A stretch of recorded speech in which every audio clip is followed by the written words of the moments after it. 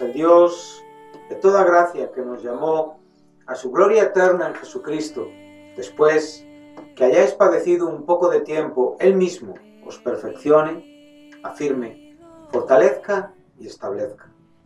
A Él sea la gloria y el imperio por los siglos de los siglos.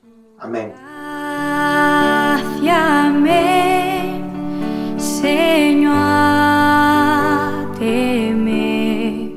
Sublime Gracia es un programa que presenta breves reflexiones fundamentadas en la palabra de Dios. Es un deseo y necesidad de mi propio corazón de conocer más profundamente a este nuestro Dios de toda gracia que nos llamó a su gloria eterna en Jesucristo. Todas las semanas, en Luz a las Naciones, canal cristiano de comunicación, puedes seguir este programa y recorrer juntos el largo pero certero sendero de la palabra de Dios. Dios me salvó y mis cadenas ya él rompió. Sublime gracia, porque de su plenitud tomamos todos y gracia sobre gracia. Perdón, sublime gracia, inmenso amor. Bueno, en mi último programa estuvimos hablando acerca de, de la gracia de Dios, tratando de, de poder exponerla en, en, todo aquello en lo que Dios se manifiesta. Eh, dejamos bien claro que, que, esta gracia o esta misericordia de Dios, como nos dice David en el Salmo 103, versículo 17, es desde la eternidad y hasta la eternidad sobre los que le temen. Por lo tanto, eh, hemos tratado de mostrar que la gracia de Dios no disminuye nunca en Dios, no se hace mayor dependiendo de las circunstancias o menor dependiendo de las circunstancias, ya que entonces esto manifestaría una imperfección en el carácter divino y no estaríamos hablando de Dios. El Dios de toda gracia es perfecto en su gracia en todas sus acciones, desde que en el comienzo de la escritura le podemos ver creando los cielos y la tierra y todo lo que nuestros ojos pueden ver, al hombre también, desde que Él da los primeros mandamientos al hombre, cómo el hombre cae y cómo Dios le provee de esa justicia maravillosa, como pudimos citar ese salmo mesiánico de, de, del capítulo 3 de Génesis en el verso 15, donde, donde es Dios mismo quien, quien testifica diciendo que, que, pondría enemistad entre la simiente de la serpiente y la simiente de la mujer y que la serpiente nos heriría en el calcañar y la serpiente la heriría en la cabeza, citando la definitiva derrota, la victoria gloriosa de Jesucristo en la cruz del Calvario a través de su muerte y de su resurrección, recuperando, eh, convirtiéndose en ese segundo Adán que, que, recupera lo que el primer Adán eh, perdió por su desobediencia y que esa desobediencia nos alcanzó a todos eh, en una manera perfectamente declarada por el propio Pablo, por cuanto todos pecaron y están destituidos de la gloria de Dios. Entonces eh, podemos ver cómo esa gracia se manifiesta a lo largo de la escritura, entreteje todos los, los textos bíblicos desde Génesis hasta Apocalipsis y podemos contemplarla aún antes de que, de que nada fuere, ya esta gracia estaba eh, obrando a través de la persona del Dios eterno, del autoexistente, aquel que, que era cuando nada era y aquel que, que, hizo que todo fuese, o sea, aquel que, como bien nos dice el apóstol Pablo, llama a las cosas que no son como si fuesen. Y pudimos ir caminando a través de la escritura, mostrando, eh, llegando pues a, al monte Sinaí donde nos encontramos con, con esa ley, citando el, el Evangelio de Juan, donde recordamos que la ley vino por Moisés, por Moisés fue dada, pero la gracia y la verdad vinieron a través de nuestro Señor Jesucristo. A Dios nadie le vio el unigénito Hijo que estaba en el seno del Padre, nos lo dio a conocer. Versículos 17 y 18 del primer capítulo del Evangelio de Juan. Entonces vimos claramente la función de la ley, pudimos ver aún eh, el carácter de gracia que ella tiene en la intención de Dios, eh, pudimos ver cómo esa promesa dada 430 30 años antes manifestaba que, evidentemente la salvación era ya tipificada y mostrada únicamente a través de la fe, como se nos dice en la escritura, el justo por la fe vivirá. Y pudimos ver pues todo todo el desarrollo de estas verdades y aún esa acción bondadosa de Dios aún en aquellos que hoy no creen en él haciendo eh, caer su lluvia y bendiciéndoles con su sol verdad pero que por encima de estos tipos estas metáforas de bondad de Dios eh, es haciéndoles eh, y atrayéndoles a la bondad que es en su Hijo Jesucristo para poder reconciliarse con sus almas caídas y sus almas eh, pecaminosas. Eh, bendito sea su nombre. Hoy vamos a estar en, el Evangelio de Juan. He escogido algunos, algunas porciones de este Evangelio para, para este programa y para próximos programas. Eh, porque pienso que el Evangelio de Juan es un Evangelio muy especial. No digo más espiritual ni menos, ya que toda la palabra es inspirada por Dios, pero sí creo que Juan es un evangelista que a quien Dios escoge para, presentarnos a Jesús eh, en su esencia, ¿verdad? Mostrándonos al Hijo de Dios encarnado que, era eh, a la vez Dios en su expresión perfecta. Eh, perfecto hombre, perfecto Dios. Eh, y creo que Juan es un evangelio que, nos lo enseña en una manera muy, muy detallada y muy profunda.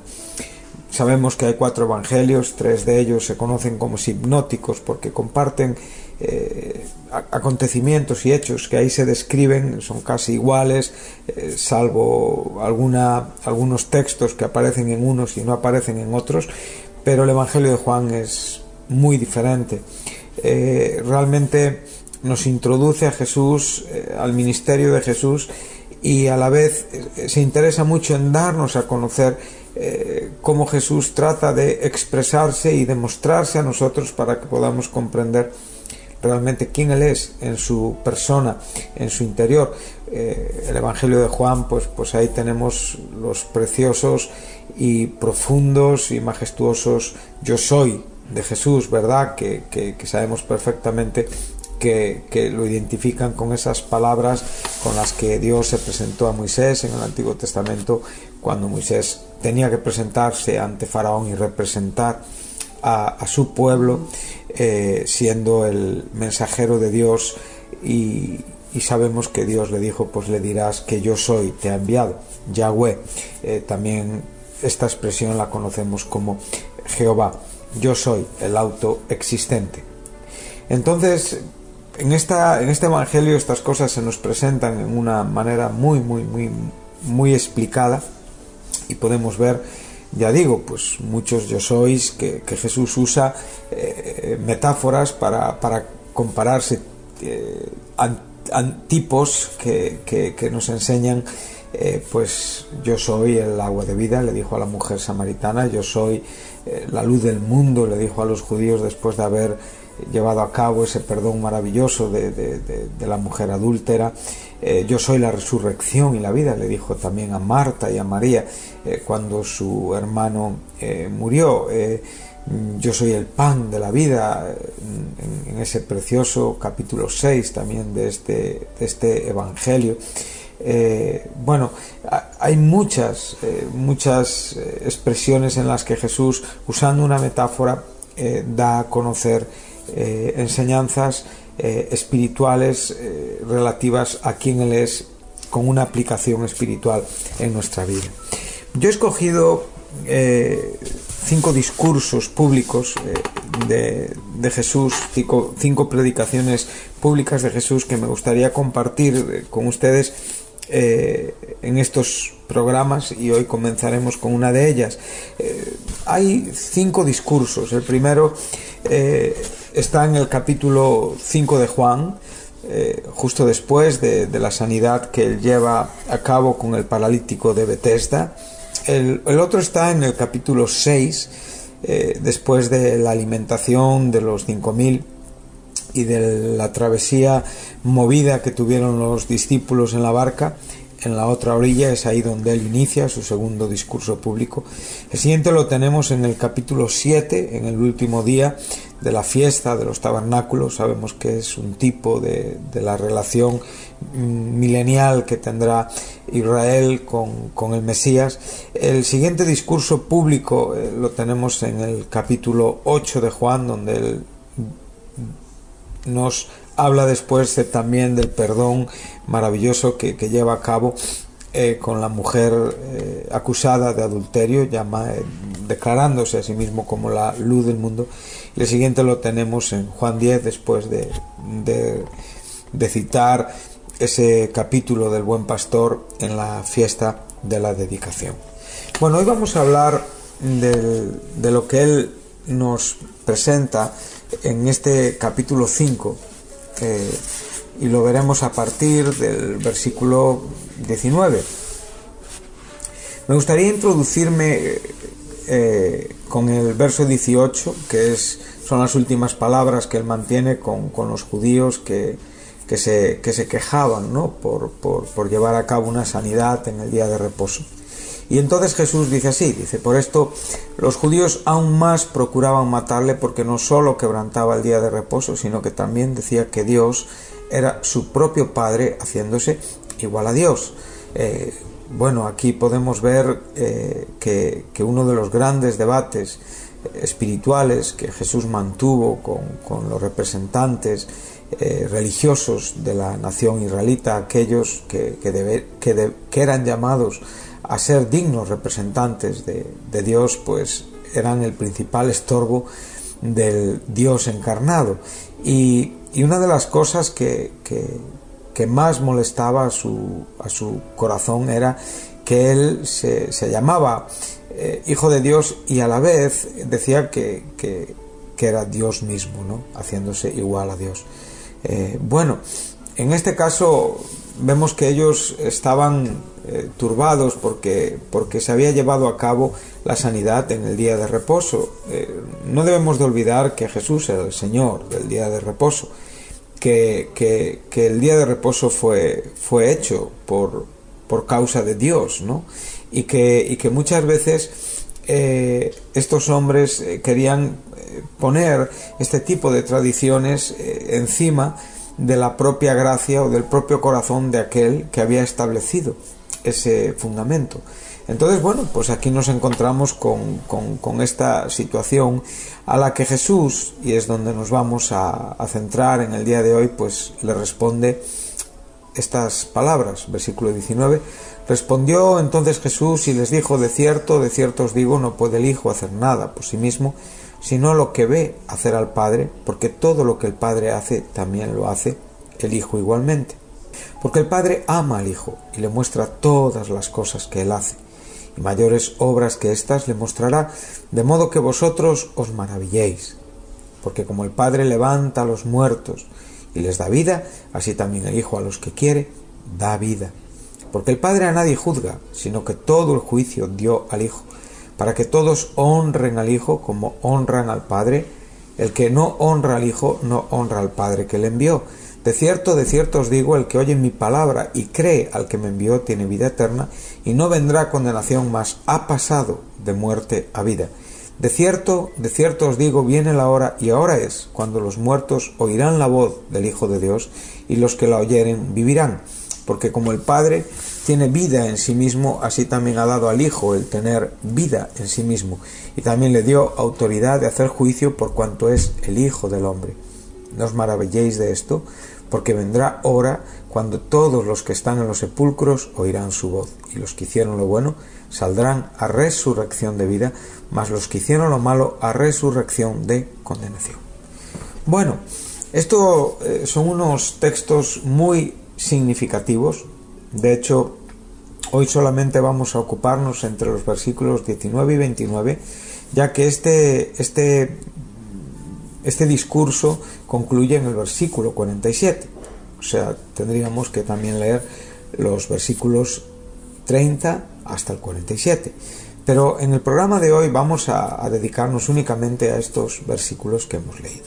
Bueno, Jesús está tratando de responder eh, no usando el agravio comparativo o el desprecio a su persona, sino interesándose en el alma de aquellos que por su negligencia, que por su ceguera, que por su falta de fe, eh, que por su desprecio consciente a su persona estaban eh, cavando sus propias tumbas, estaban eh, haciéndose reos del, del futuro juicio de Dios cuando tenían ante ellos al Dios de toda gracia, cuando tenían ante ellos la manifestación más clara y perfecta de la gracia de Dios y cuando tenían ante ellos la oferta de amor que Cristo estaba haciéndoles y que ellos estaban rechazando únicamente basándose en asuntos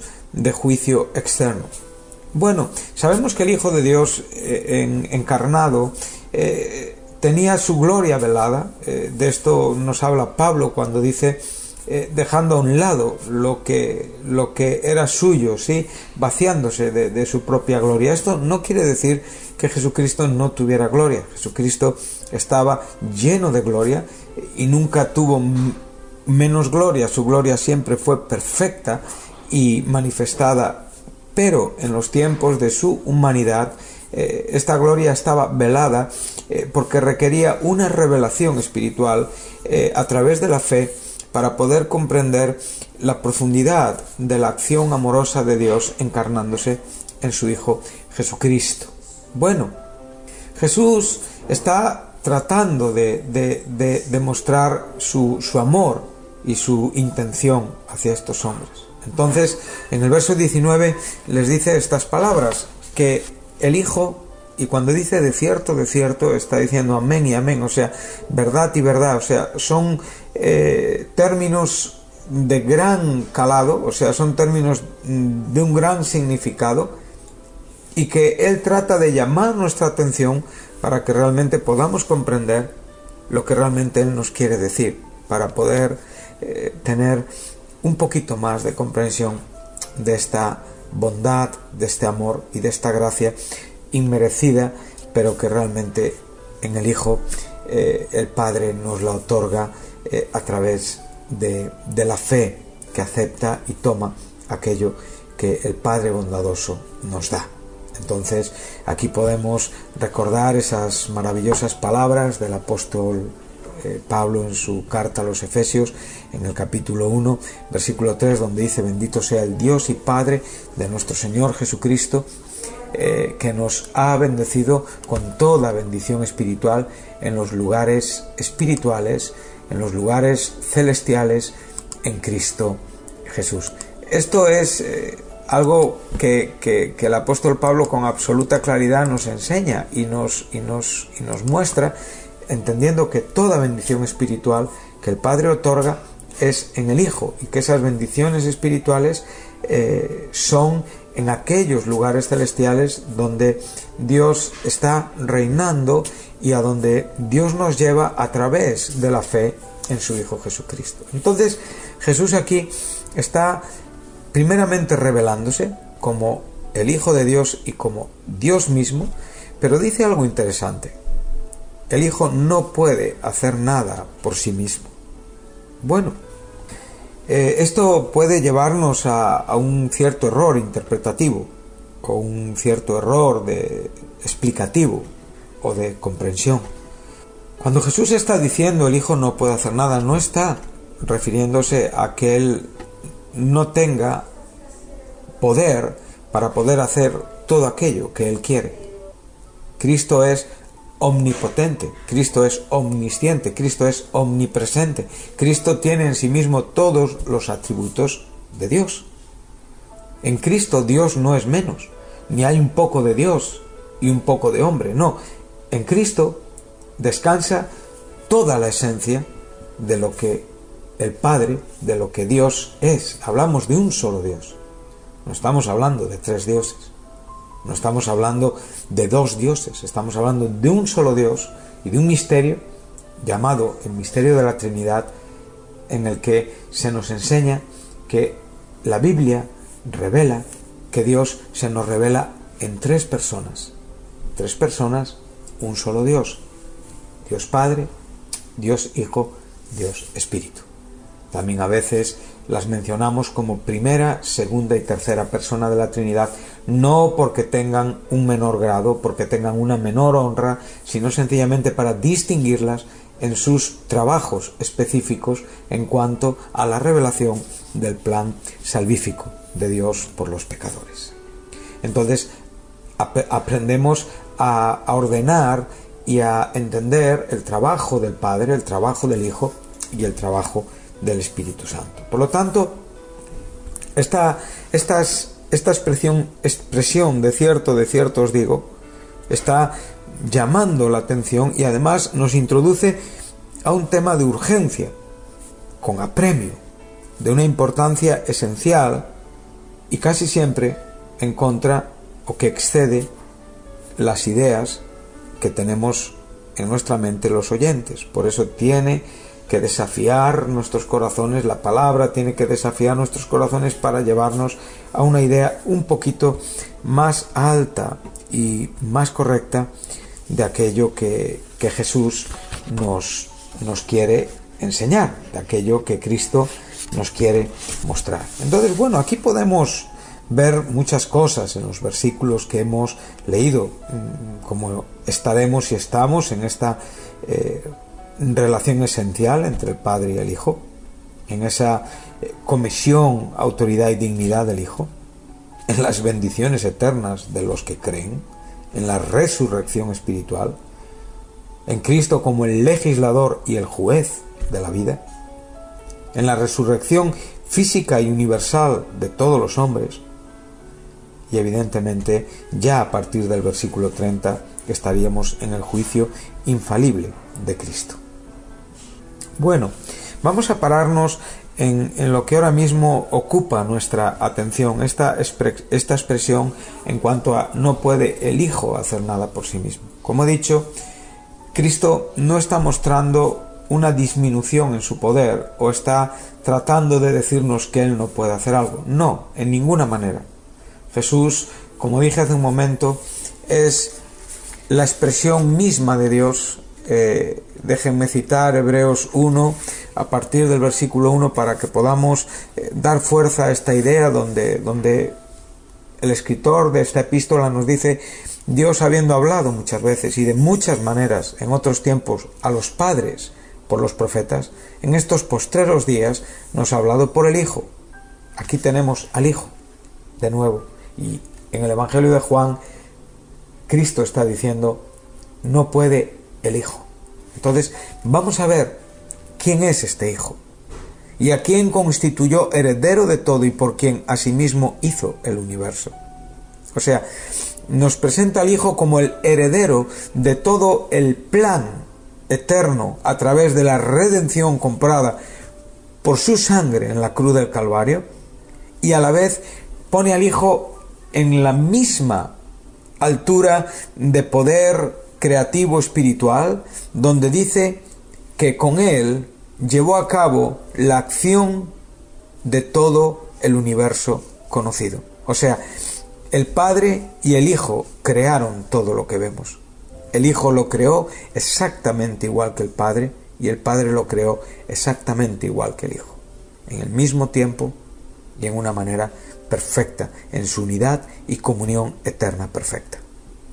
Y ahora dice el verso 3, el cual, siendo el resplandor de su gloria, o sea, aquello que emana de su persona, aquello que rodea a su persona, todo lo que expresa su persona, a veces podemos pensar en esa gloria, ¿verdad?, que se manifestaba en el, en el propiciatorio, ¿verdad?, donde la presencia de Dios descendía y ahí se manifestaba lo que Dios era en su esplendor glorioso. Pues Cristo es el resplandor mismo de esta gloria. O sea, no estamos hablando de que, de que Cristo es un resplandor de Dios, no, Cristo es Dios mismo con, la, con toda la gloria que Dios tiene en él mismo. Él es el resplandor glorioso de Dios. No es una extensión de Dios, es Dios en toda su gloria. Y dice, y la imagen misma de su, de su sustancia, o sea, la representación perfecta de la persona de Dios. A Dios nadie le vio, el unigénito Hijo nos lo dio a conocer. Jesús dijo, el que ha visto al Padre, el que me ve a mí, perdón, ve al Padre. Por lo tanto, en Cristo tenemos todo lo que Dios es, la imagen misma de su sustancia.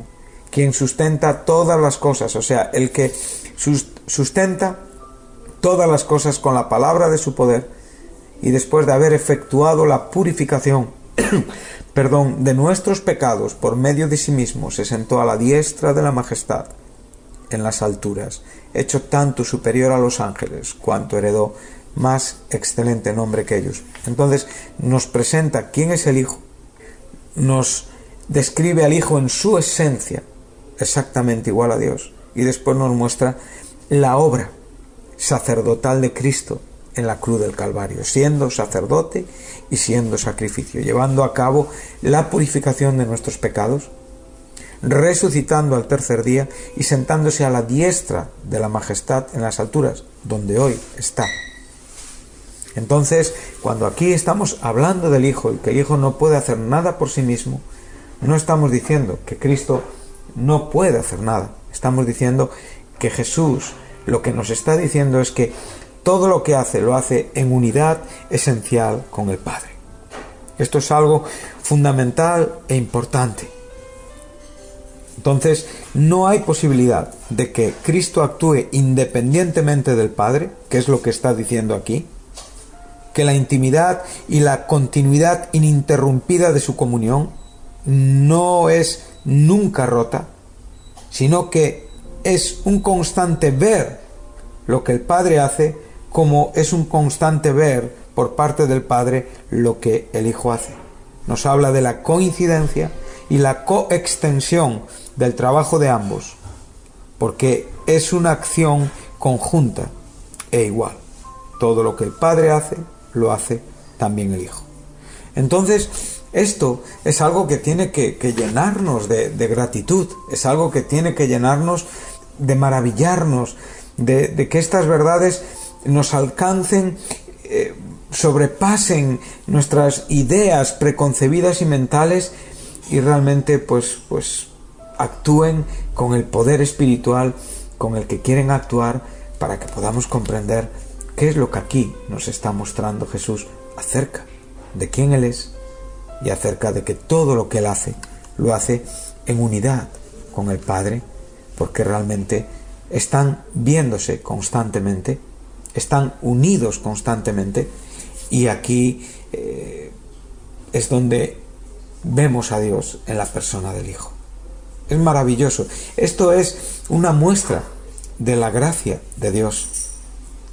Cuando María fue hablada por el ángel, cuando José fue hablado por el ángel, cuando Simeón contempló al, bebé cuando iban a, a, presentarlo en el templo a los ocho días, cuando Ana, que estaba también por allí, después cuando con doce años Jesucristo maravilló en su discurso citando eh, las palabras de Isaías, diciendo hoy se ha cumplido la escritura sobre vosotros, eh, cuando los magos vienen al portal eh, donde, donde María, José estaban con el niño, cuando los pastores, hablados por el ángel, todos ellos cuando realmente pueden llegar a comprobar la verdad de la revelación tocante a quién era el Hijo de Dios, a quién realmente era ese, ese niño que ahora eh, en estas eh, en estas fechas navideñas pues pues pues recordamos y a veces pues pues no, no lo recordamos pues con, con, con, con la profundidad que, que realmente tiene en la escritura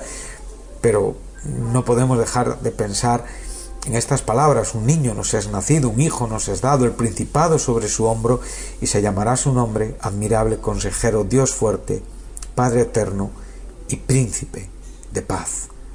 Lo dilatado de su imperio y la paz no tendrán límite sobre el trono de David y sobre su reino, disponiéndolo y confirmándolo en juicio y en justicia desde ahora y para siempre. Esto es lo que nos dice el profeta Isaías en el capítulo 9, versículo 6 de su profecía, donde nos enseña la deidad de este niño que nacería en Belén, donde se nos enseña quién es este hijo que aquí está hablando a los judíos en el capítulo 5 de Juan y qué es lo que él trata de explicar y de decirnos cuando él dice que el hijo no puede hacer nada por sí mismo sino lo que ve hacer al padre porque todo lo que el padre hace también lo hace el hijo igualmente. Bueno eh, ante esta verdad, pues nos maravillamos y nos agradecemos, agradecemos a Dios eh, el alto contenido y el alto alimento espiritual de sus palabras y nos vamos al versículo 20 donde, donde Jesús eh, dice estas palabras porque el Padre ama al Hijo y le muestra todas las cosas que él hace y mayores obras que ésta le mostrará, de modo que vosotros os maravilléis. Bueno, aquí en el versículo 20 hay una pista importante de todo lo que es la intención de Jesús. Cristo está diciendo, el Padre ama al Hijo. Bueno, cuando, cuando nos está diciendo, el Padre ama al Hijo, nos está diciendo que la, la razón, o sea, la causa fundamental de su acción está en este amor del Padre. O sea, el amor del Padre es el elemento causante que caracteriza esta unidad, esta comunión, esta cooperación y esta extensión en cuanto a la intención de Dios por los hombres a través de la revelación de su Hijo Jesucristo. El por qué nos indica la razón, todo lo que Él nos está ofreciendo es porque el Padre le ama. Entonces, en este amor el Padre no guarda ningún secreto al Hijo y el Hijo comunica las verdades del Padre. Bueno, eso lo podemos ver cuando Jesucristo en el Jordán se comienza su ministerio en su bautismo, esa voz que desde el cielo se escucha diciendo, este es mi Hijo amado, en él tengo contentamiento. Esa misma voz que se escuchó en el monte de la transfiguración donde se volvieron a repetir las mismas palabras y el propio Dios dijo a él, oíd. El Hijo siempre contenta al Padre y el Padre siempre ama al Hijo.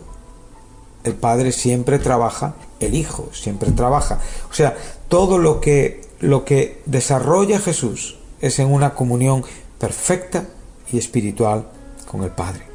Por lo tanto, aquí tenemos eh, este fundamento importante de la gracia de Dios, donde ahora mismo la razón por la que se nos revela esta intimidad y por la que se nos revela el, ministerio del Hijo y el trabajo del Hijo y aquellas obras que el Hijo iba a, compartir con nosotros tienen su causa en el amor del Padre por el Hijo. Bueno, recordamos esas palabras maravillosas de Mateo 22, 37, donde, donde en aquella tentación que los fariseos eh, querían meter a Jesús porque le preguntaron para tentarle, pues Jesucristo les contestó tocante al mandamiento más importante, amarás a Dios con todo tu corazón, con todo tu alma, con toda tu mente, con todas tus fuerzas y a tu prójimo como a ti mismo y en esto se recogen toda la ley y todos los profetas. Por lo tanto, como dijimos en el programa anterior, Jesucristo está hablando de su muerte en la cruz. Nadie, nadie amó más a Dios que Cristo mismo.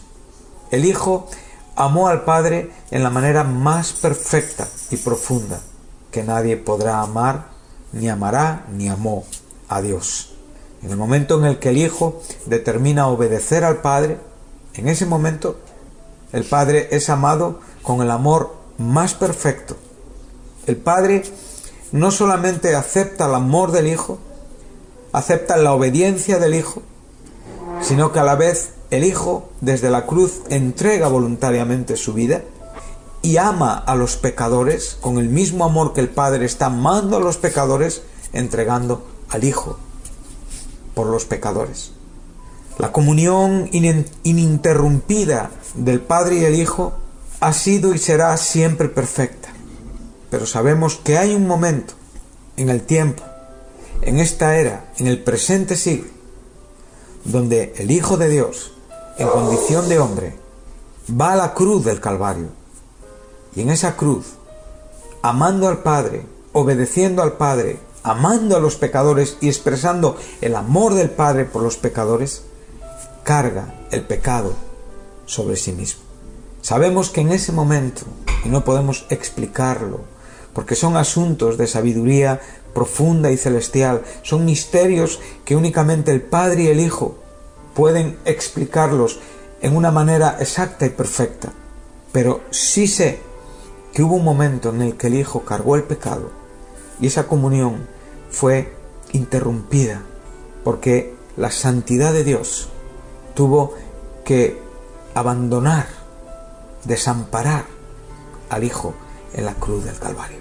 Cuando David nos cita el Salmo 22, ese salmo eh, mesiánico, profético, sabemos perfectamente que, que en el verso 1 dice, Dios mío, Dios mío, ¿por qué me has desamparado? refiriéndose a las palabras de Jesucristo en la cruz citadas también en los Evangelios.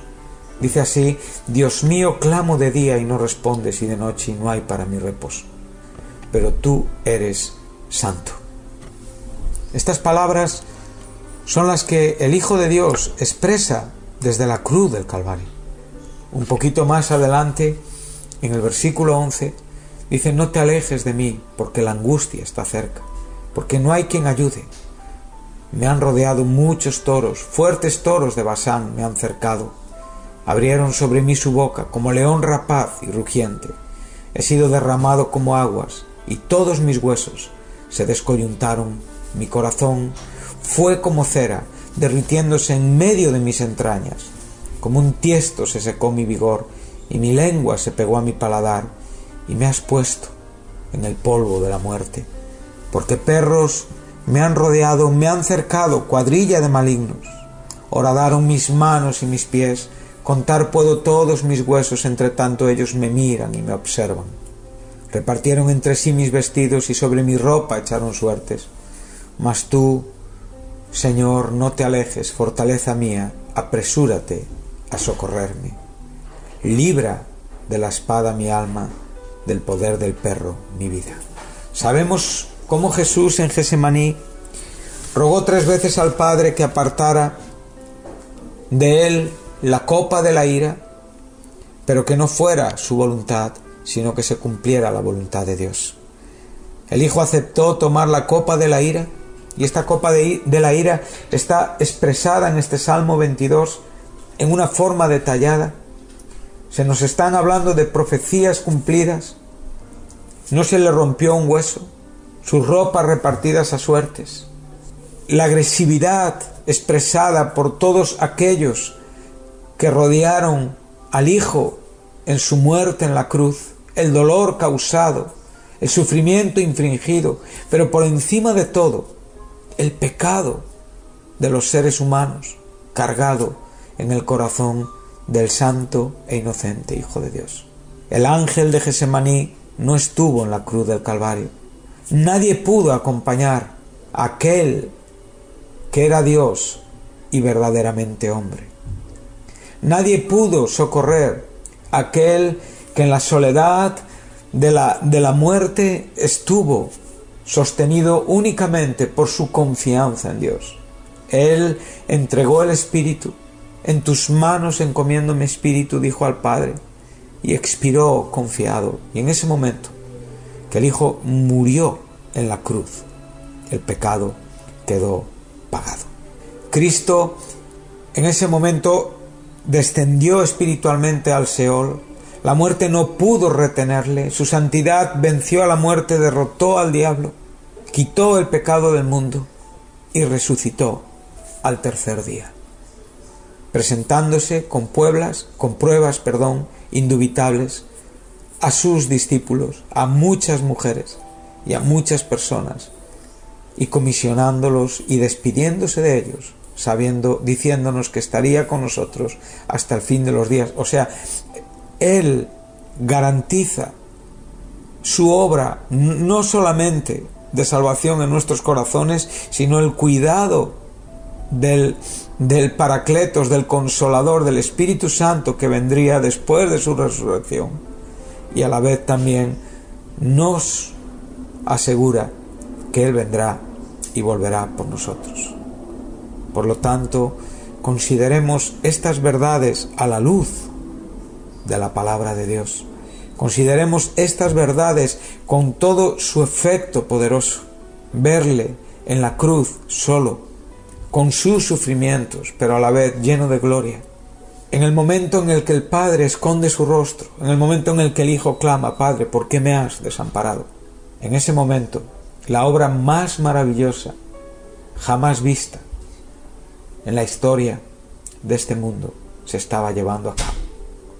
Aquello que se dispuso en la eternidad se estaba llevando a cabo en el tiempo. Recordamos las palabras preciosas del apóstol Pedro en su primera epístola, en el capítulo 1. Dice con absoluta claridad, dice que no hemos sido rescatados de nuestra vana manera de vivir con cosas corruptibles como el oro y la plata, sino con la sangre preciosa de Jesucristo, como de un cordero sin mancha, preparado desde antes de la fundación del mundo y presentado hoy por amor a nosotros. Entonces, ante estas verdades maravillosas, cuando realmente estos versículos de esta primera epístola de Pedro nos muestran el plan eterno, nos muestran la gloria de esta muerte, la gloria de esta revelación, cuando podemos pensar, como nos dice el apóstol Pablo en su carta a los Efesios, en el, en el, en el capítulo 1, donde, donde se nos presenta esa, esa maravillosa elección desde la eternidad, donde Dios nos escogió en Cristo antes de la fundación del mundo para ser santos y sin mancha delante de Él. En amor, habiéndonos predestinado para ser adoptados hijos suyos por medio de Jesucristo, según el puro afecto de su voluntad, para la alabanza de la gloria de su gracia, con la cual nos hizo aceptos, o sea, en el tiempo perfecto de Dios, expresado en el momento en el que el Hijo muere en la cruz del Calvario donde Él cumple todos los propósitos eternos, todo aquello que tiene que ver con el estado eterno de las cosas, con lo que era antes que nada fuese, con todo lo que, lo que es la redención, el perdón, eh, lo que recupera por el primer Adán perdido. Todo esto tiene su disposición en la eternidad. Es manifestado en el tiempo y realmente tendrá su eh, eh, eh, estado final y perfecto cuando los santos, salvados y lavados por esta sangre, podamos disfrutar de nuestro Señor por la eternidad, en quien tenemos redención por su sangre, el perdón de pecados, según las riquezas de su gracia. O sea, estas riquezas de la gracia de Dios dispuestas en la eternidad, fueron manifestadas en la manera más generosa y abundante, amorosa, cuando el Hijo de Dios dio su vida por nosotros en la cruz. Por lo tanto, cuando hablamos de que el Hijo no puede hacer nada por sí mismo, cuando hablamos de que todo lo que ve hacer al Padre es lo que el Hijo hace también y lo que el Padre hace es lo que el, es lo que el Hijo hace y todo lo que el, el, Padre ve y todo lo que el Hijo ve tiene que ver y está fundado en esta comunión perfecta. Y cuando llegamos al verso 20 y Él nos dice, porque el Padre ama al Hijo, entonces podemos comprender que en su amor el Padre muestra todas estas cosas y no solamente estas cosas, sino nos habla de estas obras mayores. Jesús hace un momento les estaba hablando históricamente, en lo que aquí estamos leyendo, evidentemente, de la obra maravillosa de un milagro de un paralítico sanado. Pero ahora nos está hablando de unas obras mayores que tienen que ver con su muerte y con su resurrección en la cruz del Calvario y con las consecuencias, los frutos que serían de esta muerte en la cruz. Como nos dice Isaías, él verá el fruto, el fruto, perdón, de su aflicción y se alegrará, se gozará en su alma. Entonces, qué maravilloso es poder comprender que el Hijo estaba dispuesto en la eternidad, revelado en el tiempo, en el queros exacto y perfecto de Dios, en ese hoy de gracia, en ese hoy de salvación, en ese tiempo oportuno en el que los pecadores son escuchados y son atraídos al Hijo. Y hoy es ese día aceptable. Hoy es ese tiempo oportuno. Hoy es ese día de salvación. Por lo tanto, aunque podamos escuchar burlas que se mofan de que muchas cosas no cambian y que la maldad es por doquier, nosotros podemos responder con las palabras de Pedro en su segunda carta, tocante a la tardanza de las promesas, y es porque realmente su amor quiere que todos se salven y todos vengan al arrepentimiento y al conocimiento de su bondad. Esto es lo que Jesucristo aquí está tratando de enseñarnos y yo creo que ante estas cosas todos tenemos que hacer una pequeña reflexión, las riquezas de su gracia, aquello que en, el, en la eternidad estaba con el Padre, que se manifestó en el tiempo y que hoy se nos reveló en una manera preciosa y maravillosa. Espero estar con ustedes en el próximo programa y continuaremos un poco hablando acerca de estos mensajes en el Evangelio de Juan. Muchas gracias y que Dios les bendiga.